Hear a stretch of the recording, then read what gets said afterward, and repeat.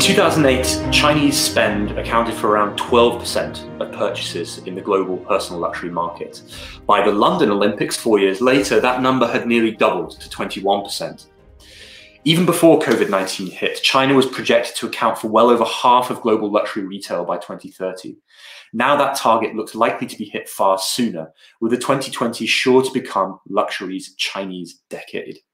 The number one uh, touch point which creates a recruitment to a, to a brand uh, in our category, uh, it's a friend or somebody you know we Britishness really, yeah. really uh, yeah. uh, appeals and sells uh, in China. Too. Yeah.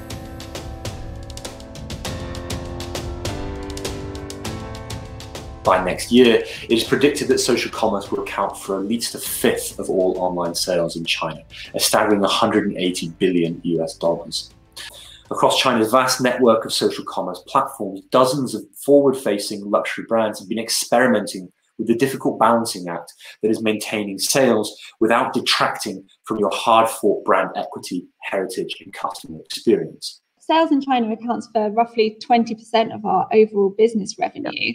And the Chinese customer accounts for about 30% of our London revenue in our in our flagship London store. So it's fair to say that it's a really important customer mm. base for us. We definitely got very good at storytelling against all our core values, which definitely resonated. So there's definitely a trend coming up in the younger audience in China of craftsmanship and sustainability, which we're really well placed to meet because that's us at, a, at our very heart.